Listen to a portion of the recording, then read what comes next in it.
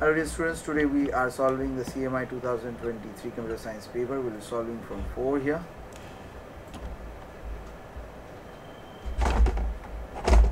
So 4 is on the island of the knights, knaves, uh, nomads, knives always tell the truth, knaves always lie and normal sometimes tell the truth and lie. So it's a very famous question. One of the professors of the Raymond visited the island, made the university A and B. He already knew that this is a knight and the other one is a normal, but he didn't uh, know which one is what. So he asked A and B, who is normal. He received yes or no answer.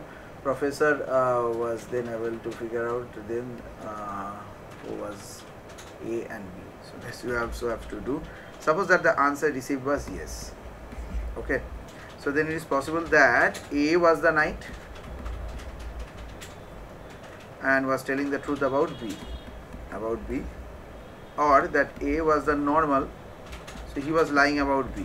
So uh, Raymond would not be able to figure out who is the knight. Since he figured out he must have received no as an answer. Okay must have received no as an answer. So if a A is a knight and he wouldn't have lied about B A is a knight no lie about B. B is normal and answering no constitutes a lie.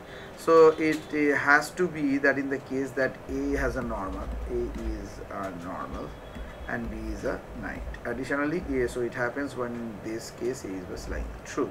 Okay, so that's the answer. Next question number five. You are starting a new bus service and you are hiring drivers and conductors and uh, a driver and a conductor can run the bus if and only if they can speak a common language and there are n drivers and m constructors have been uh, applied for this and CV is the list of the languages they speak. If the CV, given the CVs of the drivers and the constructor want to calculate the number of possible cases here. Uh, so from a bipartite graph we have to take the drivers are conductors uh, are uh, maybe vertices and the age of them are the driver and conductor whenever they speak common language. Since there is the same driver and cannot run two buses at the same point of time applicable for the conductors as well. Assignment of the drivers and the conductors so buses correspond to, to a matching in the graph. So there has to be a matching in the graph. So we can find the maximum number of buses that can run by computing the maximum match in the max match in the bipartite graph. So this is the first part done. Second is a are to get in the service running? Uh, so whenever you get a new application from the driver you check you can uh, team with this new conductor if no. So provide an example of the scenario.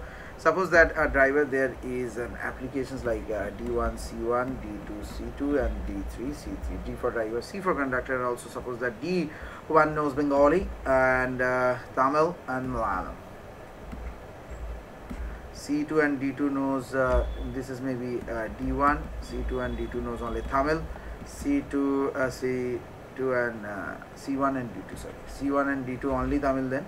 Then C2 and D3 is a Malayalam C3 only knows Bengali. So the algorithm will match as D1 with a C1 D2 on the bench no one is matching. C2 pairs with D3 and also put C3 on the bench as thus running two buses as parallel but it is not an optimal planning uh, by pairing D1 with C3 D1 with a C3 D2 with a C1 and D3 in the C2 we can run but three buses in